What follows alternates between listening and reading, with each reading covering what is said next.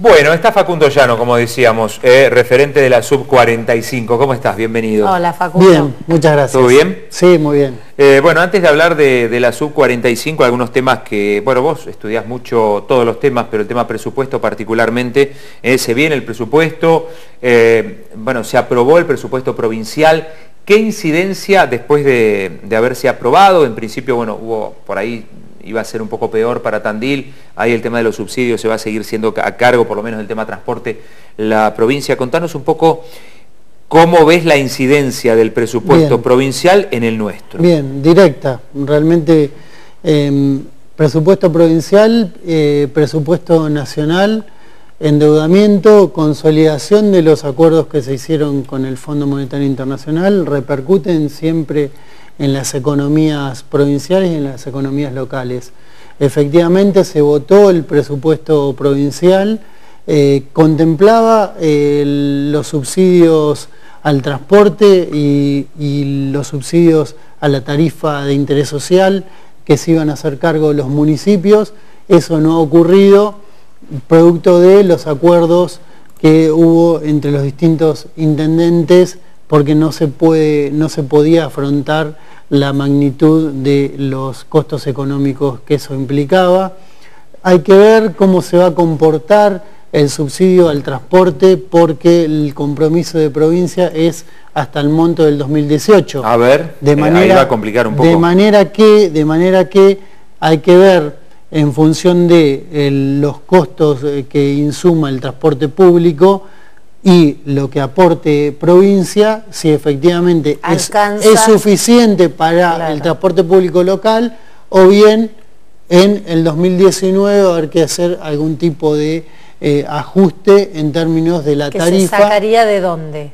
¿De la propia tarifa? Se sacaría del bolsillo del, vecino que se sube al colectivo, digamos, porque se ajustaría a través de tarifa. ¿Provincia ya dijo cuánto mandaría? provincia dijo que mandaría lo mismo que, que 2018. Vamos, salvo que en el presupuesto 2019 a nivel local esté contemplado una partida para afrontar esa pérdida del valor a nivel provincial. Hay que verlo. El presupuesto local, nosotros votamos una prórroga para que lo pueda elevar el Ejecutivo, producto de la eh, macroeconómica, macrofiscal, que no se sabían los números de provincia, ahora se sabe, el lunes 10 vence el término para que el Ejecutivo lo eleve, seguramente lo elevará entre el viernes y el lunes, tendremos un escaso tiempo para poder debatirlo, para poder tratarlo, porque el 30, el 30 tiene que estar votado, eh, y bueno, y ahí se van, a, se van a debatir estas pautas, como todas las pautas que hacen al, hacer cotidiano de Tandil, porque estamos hablando de más de, más de 2.400 millones, probablemente venga eh, para el 2019. Facundo, ¿con qué proyección se arma el presupuesto 2019? Proyección de inflación hablo. Sí, bueno, eh, proyección de inflación es, de acuerdo al nivel nacional. Eh, se habló de un tope de aumento de impuestos del 38%, que eso también fue eliminado en la provincia de Buenos Aires porque condicionaba no solamente a los municipios en sus fuentes de ingresos, sino también una cuestión eh, de fondo que la hemos debatido cuando nosotros no apoyamos el, pacto fiscal que hace a la autonomía de los municipios y a la posibilidad de determinar sus propias normas de, convivencia económica y de conducta fiscal. Eh, ¿Qué ocurre? Que el, el presupuesto acá, la clave va a ser en, Tandil, por ejemplo, es cómo se comporta el aumento de tasas en relación a las evaluaciones fiscales.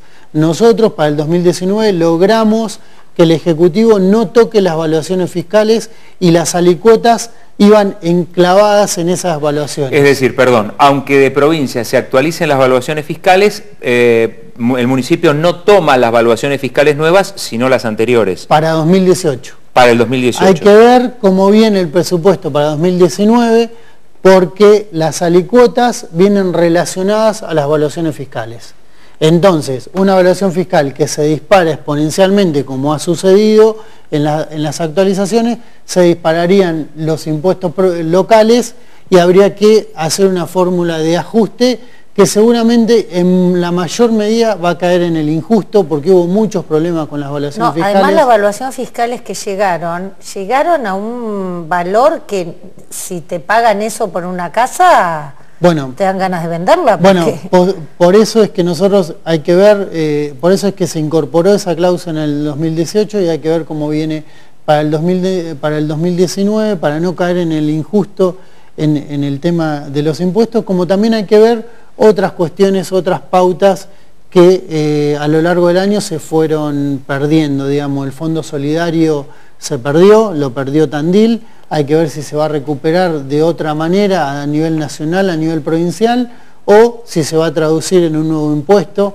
El fondo, el FAS, que viene con la boleta de la luz, como también el fondo de alumbrado público, que viene en la boleta de la luz, eso hay que retirarlo de la boleta, hay que ver qué impuesto se tiene que retirar, qué impuesto no, y el que se retira, si el municipio tiene contemplado recuperarlo de otra manera, que es con un nuevo tributo. Digamos, siempre terminamos en la carga tributaria para el vecino tandilense. La realidad es que vamos a ver poca incidencia en la baja de la factura de la luz y vamos a ver una incidencia importante en el aumento de las tasas municipales si esos impuestos van a parar ahí. Sí, porque a ver, ese análisis, eh, cuando llega la factura de luz, y la verdad que como vienen bastante abultadas, nadie no se va a percatar porque... Es un, 6% o un 5%. Es, poquito, eh, pero sí se va a ver muy aumentada las tasas municipales. Sí, es así, va a haber... Ahí va a haber, va a haber problema porque va, más va a poner el grito en el cielo. Es que la balanza, a ver, viene sucediendo durante años que es el crecimiento de los tributos locales eh, por encima de la coparticipación eh, provincial. Digamos, no, no, digo en términos eh, de, cantidad, no alcanza la, sino cómo viene lo que se da. cómo viene creciendo la carga tributaria a nivel local. Es decir, eh, ¿Pero eso qué? ¿Porque nos dan poca coparticipación? No, la coparticipación viene creciendo, sí. viene creciendo, pero la incidencia de la masa local viene creciendo mucho más. ¿Por qué? Porque se vienen aumentando mucho las tasas, pero además porque se vienen creando nuevas tasas. Digamos, recordemos, crece la tasa retributiva de servicios, crece la tasa de salud, crecen las tasas eh, individuales de pavimentación, tasa de obras sanitarias, el, FAS, todo eso viene creciendo y además se crean tasas nuevas, como la de protección ciudadana, por ejemplo, que es un 30% de la tasa retributiva o la, o la de actividades económicas. Entonces, la carga tributaria que está afrontando el tandilense para con el municipio es, eh, te diría, importantísima, además de los derechos y contribuciones individuales por cada acto eh, administrativo que haga. Claro. Eh, por eso, bueno, entonces, el presupuesto es importante, es, interesante debatirlo en esos aspectos, no solamente en los gastos, es decir, cómo, se define, cómo se define el gasto, a qué se le da prioridad, cuáles son los sectores involucrados, vulnerables, atendibles, y sino también cómo se, ah, cómo se obtienen los recursos, que muchas veces es con el esfuerzo, o te diría, eh, siempre son con el esfuerzo del contribuyente. A nivel nacional se dice que eh, el país este, realmente gasta más de lo, que, de lo que recauda, por eso hay un gran déficit. A nivel local, el municipio gasta más de lo que debería, es grande ¿Tiene más cantidad de empleados de lo que necesitaría? Es una pregunta difícil de responder. Digamos, el, a nivel nacional el déficit cero no implica eh, eficacia o eficiencia en el uso de los recursos. El déficit cero con una economía enfriada, con una economía que, no genera consumo, que, que eso implica eh, retracción en la mano de obra, suspensiones y despidos, es un déficit cero en materia económica, pero deficitario en materia social. digamos. El municipio es lo mismo, digamos. Eh, si bien viene con déficit económico, nosotros también, como una mirada política, hablamos del déficit en lo social. Es decir, en aspectos vinculados a la salud, a la, calidad de vida de la población. Creemos que hay muchas cosas que las están haciendo bien y muchas cosas que habría que mejorarlas y que asumar una mirada eh, o al menos atender una mirada de la oposición o una mirada del Tandil que, nos parece se puede mejorar. La voz que están escuchando es de Facundo Llano. En el próximo bloque hablaremos de este lanzamiento de la Sub-45, hablaremos de protección ciudadana, hablaremos del Consejo Económico y Social, eh, de, esto, de todos estos temas con el concejal Llano. Muy bien, en un ratito compartimos mensajes Felicito al concejal del PJ Facundo Llano por su labor y compromiso, dice Lali. Bueno, muchas gracias. Mira vos, Gracias, un saludo. No es la tía, Lali. No, no, no, no, lo sé, no lo sé. Bueno. Me podría adoptar. Ahí está, Puede ser. Vamos a seguir charlando con Facundo en un En un ratito nada más. Hay muchos temas para tratar todavía aquí en la ciudad.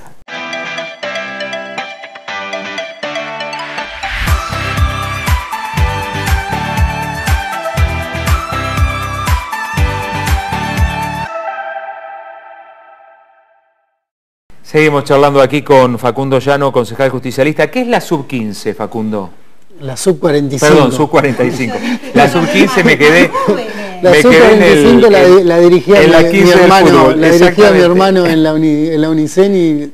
Me quedé en esa. Y era, técnico, y era técnico de la liga también. Salieron campeones, sí. Mirá, mirá. Me quedé con esa. ¿Cómo se llama tu hermano? Lautaro, Lautaro Llano. El Laucha para los amigos. Ah, el Laucha. El Laucha. Un abrazo, Lau. Bueno, no, de la, de la sub-45. Esperemos que también podamos salir campeones nosotros. Vamos a ver. bueno, no, la sub-45, a ver, es un espacio de formación eh, política y técnica. ¿Cuál es la idea? Eh, convocar eh, mediante un ciclo de charlas que hemos denominado Tandil, Conocer para Decidir. ¿Cuál es? ¿Tandil? conocer para decidir. Para decidir. precisamente eso, conocer cada uno de los aspectos que hacen para nosotros importantes y estratégicos en, el Tandil que queremos, en el Tandil eh, de la actualidad, pero también del futuro, y para eso convocamos a aquellos que eh, saben de, esas materias. ¿Sería como el Ateneo de Nicolini, pero peronista? Una, una, especie de, centro de estudios, si se, Yo agregaría peronistas, no kirchneristas. Es, una, es un lugar de, y un espacio que tiene lugar para todos. Digamos, no, no, no queremos... No excluyen a nadie. No queremos ser excluyentes, no queremos ser excluyentes. Cada uno tiene su pertenencia ideológica y política. En mi caso eh, vengo del peronismo, soy peronista, pero también han sido convocados distintos actores de la sociedad civil que conocen los temas, que queremos escucharlo, que queremos escribir sobre eso, que queremos tomar cuenta de la realidad que están viviendo, pero también invitamos eh, a gente, hubo radicales, hubo socialistas, hubo peronistas, eh, y después, por supuesto, quienes tengan vocación pública, vocación política, y confluyan en este armado, en esta idea que tenemos de, de Tandil, eso se va a traducir en una plataforma de gobierno y se va a traducir en un espacio político en condiciones de ofrecer una propuesta electoral. Me parece... ¿Y se llamaría cómo? Que se llamaría Sub-45. Ah, queda, ese nombre, después, después veremos, a ver, después veremos eh, electoralmente, partidariamente y, conforme el calendario que ya está determinado, cómo confluyen eh, estas ideas, digamos, hay gente de la política, digamos, estuvo Nicolás Carrillo, estuvo Fernando Rossi, estuvo Marcelo Valle, estuvo Santiago Romay, a ver, eh, seguramente soy injusto porque me olvido de muchos, Mario Raimondi, hay muchos que están trabajando, por supuesto que que las caras visibles podemos ser nosotros con, Gustavo Ballén porque somos concejales. En esta oportunidad hemos invitado a, Oscar Nigro que nos dé un pantallazo respecto a la movilidad urbana, cómo se comporta el trabajo, el tiempo que se pierde eh, respecto del tránsito en la ciudad y por supuesto eh, que deja reflexiones, deja para el análisis y también eh, Andrea Almenta que es una empresaria pyme nosotros creemos, lo, titulamos así, las pymes como el motor del desarrollo. Eh, es importantísimo eh, tener la mirada de una empresaria pyme como que es representativa de, gran parte de la comunidad y así lo haremos en todos los aspectos. Estamos trabajando salud, vamos a trabajar seguridad y justicia con, la, con la sociedad intermedia, digamos, con, con cada uno de los actores que hoy están eh, insertos en las áreas que, a nosotros nos importan. Y a nivel nacional, eh, Facundo, ¿con quiénes simpatizan? A nivel nacional, eh, la premisa es que creemos que hay que cambiar el gobierno. Digamos, el, gobierno de Macri ya dio muestras de su fracaso, ninguno de los objetivos trazados los ha cumplido, por el contrario, ha profundizado aquellas situaciones que venían a mejorarse. eso está claro. Ahora, eh, ¿con qué nombres a nivel nacional? No, hoy, hoy hay un espacio claramente que está trabajando eh, en, un armado de una mesa... ¿Peronismo federal? Que es alternativa federal, con los gobernadores, eh, está el espacio que está Felipe Solá, está trabajando por otro aspecto. Sí, perdón, Felipe Solá ahora está más cerca de Cristina, que, de Massa. Bueno, después se verá a nivel partidario cómo se resuelve, digamos. Nosotros creemos, al menos eh, desde mi aspecto lo he dicho, soy parte del bloque justicialista, yo creo que hay que ofrecerle a la ciudadanía, al electorado, a Argentina, un nuevo modelo que, eh, que sea superador de lo que ya pasó. Está bien, pero vos sabés que la... a Cristina? Perdón, sí, eh, espera, perdóname un segundito. Em, lo del proyecto está bien, del proyecto superador, bárbaro. Ahora, la gente no vota proyectos, la gente vota nombres. Sí. y eso, lamentablemente, eh, lo, lo comparto porque eso hace que después no pueda haber continuidad cuando la gente vota nombres y no proyectos. públicas, ideas, estrategias. Pero la realidad es que hoy vota a ver me gusta, no me gusta, más allá de donde sea. Por eso te preguntaba nombres, digo, no sé, Diego Bocio acompaña esto. Diego Bocio... ¿O ustedes acompañan a eh, Diego Bocio? a ver, desde lo, desde lo personal, eh, yo hoy lo manifestaba, creo que, que Diego ha hecho un trabajo importantísimo para Tandil, eh, desde, a mí me tocó la suerte de ser contemporáneo en, el ANSES, de que me haya otorgado esa responsabilidad eh, y creo que eh, tiene una actualidad y un futuro político importante y tengo expectativas en que pueda ser uno de los actores de la, vida política del futuro de la Argentina, no me cabe ninguna duda de eso. Diego, ¿con quién iría a nivel nacional? Y no ah, bueno a nivel nacional está trabajando en esta mesa de alternativa de alternativa federal junto con Sergio Massa con los gobernadores para ofrecer una propuesta electoral eh, como dice como dice Claudio con nombres propios y que se debata en una en ahora esta sub 45 que están armando. Sería este, si bien con una línea peronista, pero sería más como un como vecinalista, digamos. A ver, eh, confluyen eh, distintos actores de, la vida pública. Eh, si, se quiere, arrancamos por Porque Tandil. vos decís que va juntando, hay radicales Efectivamente, arrancamos por Tandil.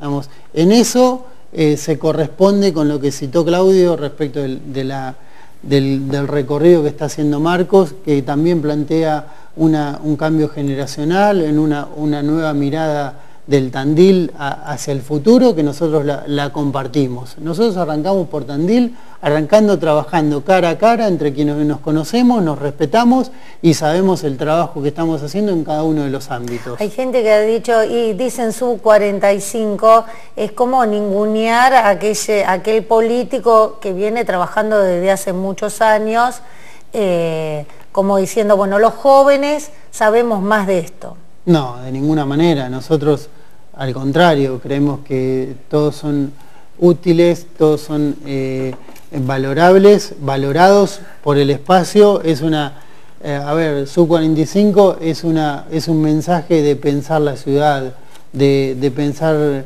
una ciudad innovadora, eh, vanguardista, que no implica que solamente esas ideas las tengan los jóvenes.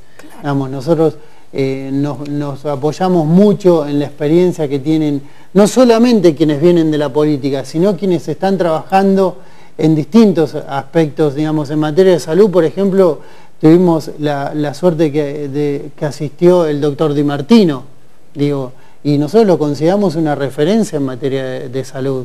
Y así te puedo dar muchos ejemplos que, son gente que nosotros nos respaldamos, nos apoyamos y vamos a consultar y vamos a ser partícipes es un lema, digamos, es un lema del SU-45 que no es excluyente, ni no pretende ser excluyente, ni, ni lo es. Facundo, eh, dice Lali acá que, que escribía Dice, no, no soy la tía, dice. Sería una tía orgullosa. Dice, acompaño al bloque integrar, pero se debe reconocer cuando un concejal solo se planta con su postura y defiende los intereses de todos. Mira. Bueno, le agradezco mucho. Mira, mucho. Mira, Lali, impresionante. Igual fue una chanza lo que dice. no, lo, no, lo toma mal. No lo toma mal.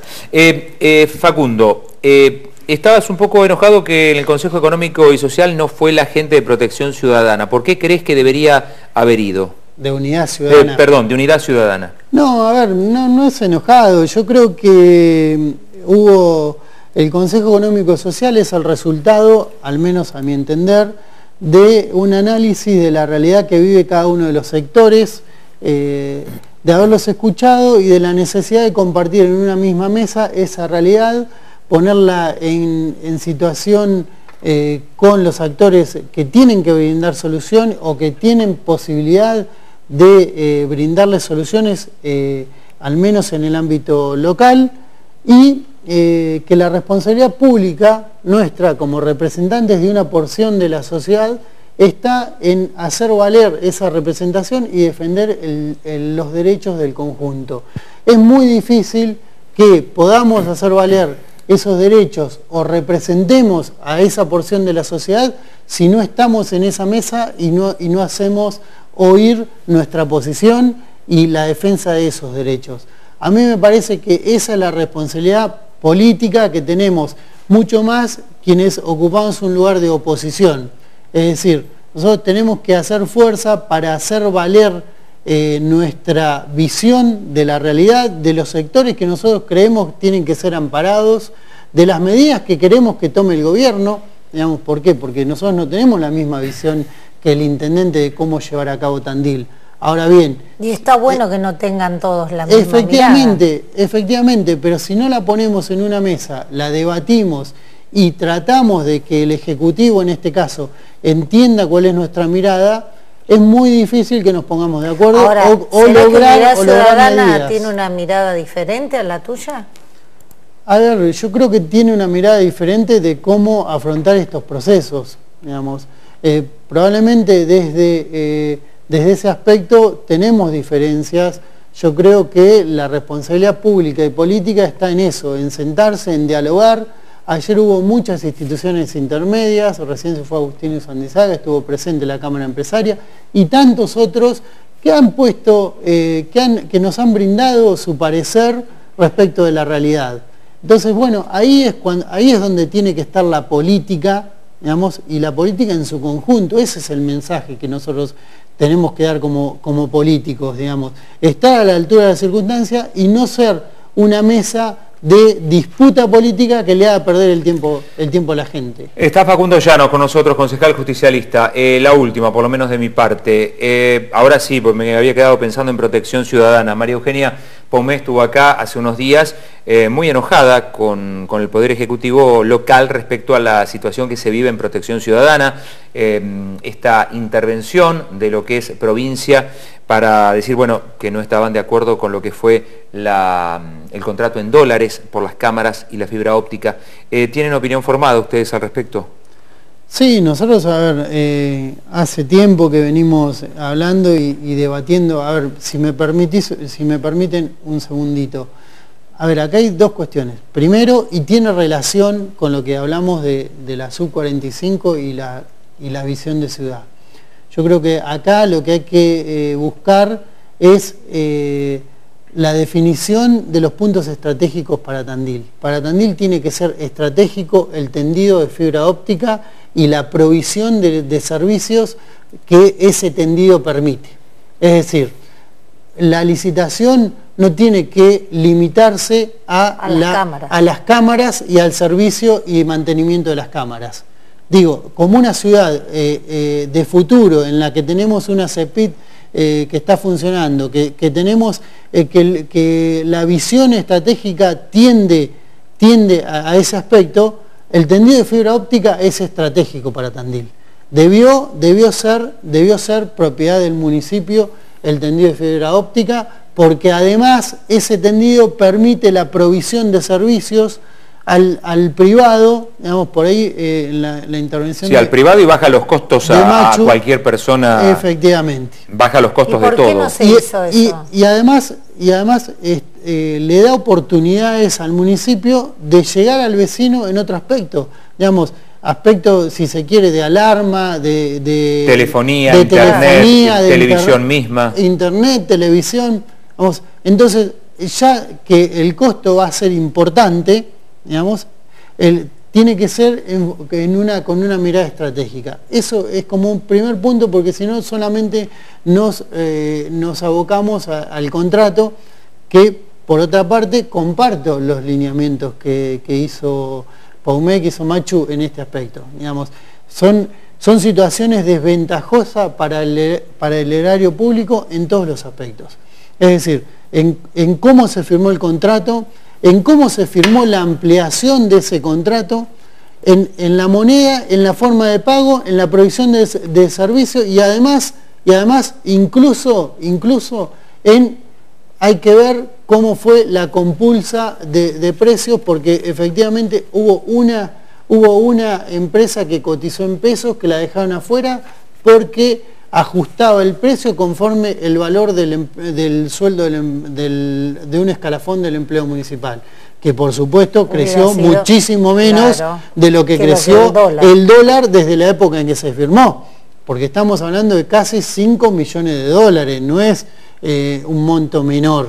Vamos, entonces ahí vamos a tener eh, vamos a tener mucho más que conversar porque no va a quedar acá nomás porque el Tribunal de Cuentas, entiendo, lo, ha observado, nosotros no tenemos el dictamen del Tribunal, no los ha hecho llegar al Ejecutivo, pero el contrato sigue su continuidad y sigue su cumplimiento eh, sin reformulación eh, y conforme la moneda extranjera, de, manera que los compromisos económicos... Cada vez son mayores. cada vez son mayores y además no solamente son mayores, sino que siguen siendo riesgosos. Porque no sabemos a cuánto va a estar el dólar dentro de tres meses. Facundo, eh, nada, te saco. ¿Te ves como intendente? Mirá, eh, es difícil que quien está en política no, quiera, no quiera conducir los destinos de su ciudad, no tenga ideas, no tenga ganas y no tenga expectativas de eso. Digamos, eh, veremos las circunstancias, el tiempo y sobre todo la gente cuando definan ese momento. Eh, pero bueno, eh, la idea, la idea es, es, construir, digamos, digo construir en términos de plataforma, en términos de equipo y en términos personales, digamos. todos necesitamos un, recorrido, todos necesitamos eh, sumar, sumar experiencia y, sumar gente que esté dispuesta a eso, digamos, no, es un, no, no puede ser un proyecto individual. Bien. Quedó contestado. Quedó contestado. Facundo, muchísimas gracias. Gracias. Muy amable. Facundo Llano, hablamos de varios temas, ¿eh? concejal justicialista con nosotros.